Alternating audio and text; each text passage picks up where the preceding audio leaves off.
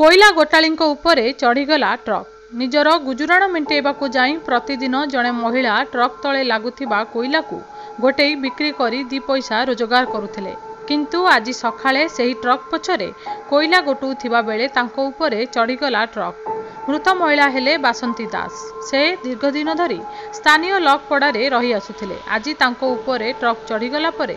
ଘଟଣାସ୍ଥଳରେ ହିଁ ମୃତ୍ୟୁ ଘଟିଥିଲା পুলিশ শব জবত করে ব্যবচ্ছেদ নিমন্তে অঠাবাঙ্কি ডাক্তারখানায় ভর্তি করা সহ সম্পৃক্ত ট্রকু জবত করেছে বিরো রিপোর্ট তিশাকা নিউজ